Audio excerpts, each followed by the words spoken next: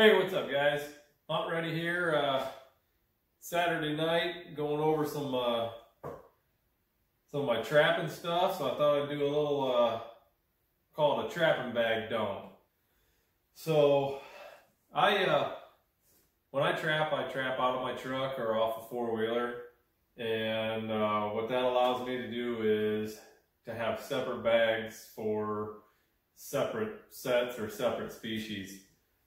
So I use uh, a couple different bags. I use five gallon buckets for my tools and for my traps. Um, I also have my wax dirt in a five gallon bucket and my peat moss in five gallon buckets. Um, so these are two of my bags here. This is my predator bag, coyote bag, um, and then this is mink and coon mostly. Um, I got some, a few cricks that I trap beaver in. Um, I don't have a whole bag set up for that. Usually I just pull right up to where I want to set them. So um, I just use 330s and uh, um, counter stands for those. So, but uh, two main bags, like I said, predator bag, coon bag, and We'll go over the Predator bag first here. Um, this is a, uh, a bag I got from Menards, and it's a Master Force bag, and it was like, it was made for, for a traveling bag. Um, the big pockets around the outside are actually big enough to fit urine bottles and, and the bait bottles, um, the bait cans. And uh, I don't have most of my lures out. I keep my lures um, stored in the refrigerator during the off season, but these are some of the new ones. The lures I just stack, you know, stack on each other in, in one of the pockets. Um, so yeah, like I said, the outside pockets, perfect for, uh, for your bait cans. And I do, they're just big enough you can fit two on top of each other. So, um, works out really good. I think this bag, like I said, I got it at Menards. I think it was like a surveyor's bag or it was something, something other than like a, you know, a contractor bag. Um, because most of the contractor bags you see, you got the small pockets for screwdrivers and pliers and stuff like that, and and nothing ever really fits well in them. So when I found this bag, I was like, wow, that's perfect. Um, yeah, so on one side I run the urines, other side I run the baits, and the, the lures are on the outsides. Um, like I said, the urines fit in there perfect. Uh, trying some new urine from uh, Rusats this year. Um, fit right in there. I got a, that's a leftover fox urine from, uh, from Hoosier Trapper. And so baits, urines, lures on the outside. Inside, I've got two coffee cans. Um, coffee cans, I mean, they're worth their weight in gold. I use coffee cans for everything. Uh, let's see.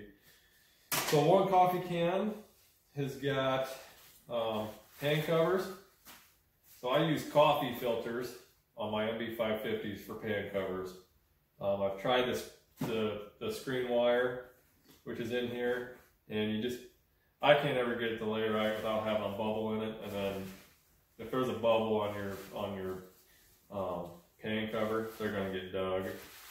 So I've had issues with that. So I stopped using screen wire on MBs, on the MB550s. And then right now this has peat in it. The can's about half full with peat, and then I just stack the stack my pan covers right on top of that. So I got my peat or dry dirt or wax dirt, depending on what time of year. Um, I mostly run peat and then just the dirt at the set. And then I run the I run the wax dirt when it gets real cold. So that's in there. Um, in this one I have sheep wool so I, am mostly a dirt hole guy. I'm 90% of my sets are dirt holes. And every set I'll use a handful of sheep wool. I'll put my bait on it, shove that down the hole, and then your lure and your urine. But uh, so I got sheep wool, your dry dirt or peat or whatever you're using. Um, I said the screen wire. This was actually aluminum screen that I tried last year. It didn't it didn't work too bad um, on everything but the MB550. But uh, like I said, this year I'm using uh, no BS um, no BS uh, K9 Extreme Juniors, and they've got their own uh, steel screen. So I'm gonna use that. It's it's way stiffer than this aluminum. Um, so they're in the one side. Inside the bag are little pockets. And then the big opening in the middle. Um, so inside, like I said, I got the all that. Um, I usually carry some trap tags, some spares, um, some marker. A lot of sets I'll mark just so it's easier. I can, you know, usually glass them up with binoculars, and then you can pinpoint your where it's at with the with the marker. Oh, J hook tool and extra J hooks.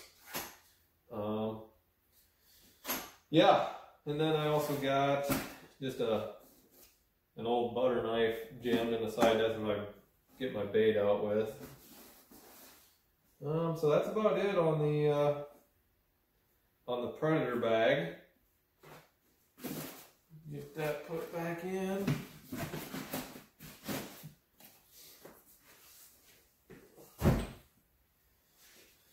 And coon bag. So coon sets are primarily uh, DPs. Um, I do do some cubby sets with uh, some no BS one and a halfs. Um, so my cubby sets are usually these little PVC jam in the dirt, put your bait in there, and uh, your one and a half below it. I also use the one and a half for mink sets, muskrat, and then I also do uh, the 110s for uh, mink and muskrat. But uh, this is my coon bag, I'll call, but I do also have my um, my mink baits and urines and, and lure in here as well. Um, this is just an old bag I've been using forever. This actually started out as what I used as my predator bag for a while. It'll hold the bait cans in the middle and then whatever else you got on the sides. Um, so I carry a screwdriver um, for cleaning out the DPs or for tightening up the screws. Um, these little Connie brackets, a lot of times I'll just screw these right to a right to a log and then you can set your 110 on there. Some extra cable for anchoring the DPs, which I, I've gotten away from. I don't use this very often. You know, you got your cable and you can anchor your DP. I got some quick links on here. I've got a DP setter. Um, most of the kids use that. But uh, on your DPs to uh, trees, like I said, I've gotten away from that. Unless I have to, if the situation dictates that I have to uh, anchor to a tree or to a gate or, or anything like that because the ground's too hard or or whatnot. Um, but most of the time for my um, for my DPs, I carry these stakes. I got a whole bucket full of stakes with my DPs. Um, I'll run these stakes down through uh, like the last swivel on the DP. You just put your stake through it, and then you leave. I leave I don't know about an inch or so, so you got room for your DP to swivel. Just jam these in the ground. I haven't lost anything yet. Um, I was having I was having a lot of pullouts anchoring to the trees with the uh, with the cable. Especially if you got cable that's too long, the shorter the better. I found out. Um, that's kind of hard to judge depending on what trees you're trying to anchor to. But uh, yeah, so uh, I said, I got quick links, setter. Um, it'll hold. And this is a husky bag. I probably got from Menards or Lowe's or something. Um, a couple different DP baits I'm trying out this year. The DP coon bait and the from Dunlap's and the the blue balls from No BS. Oh, a couple of uh, DP um, annihilator and hillators or whatever you want to call them for the from from Rusats, a cherry one and a crawfish one. Um, fish oil and a couple different lure, coon lure, mink lure, and then some uh, some different uh, lures here on the sides as well. It holds it holds quite a bit, just just enough. Um, and I also carry the screws and a screw bit for the uh, for the county brackets. Like I said, a lot of times I'll just go right out and screw them on a log, like a log going across the creek or something. So I always got that with me, and then those will just go right back in. Um, for tools,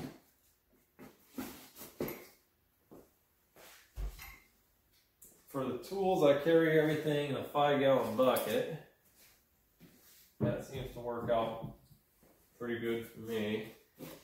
Um,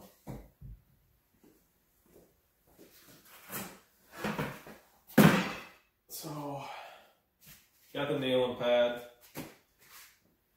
And so I, I use different gloves for you know, baiting your set and then different gloves for making your set. Um, a lot of times I just wear rubber gloves if it's muddy, but most of the time I just wear uh, like mechanics gloves or whatever, whatever I got um, for making the set once dry out.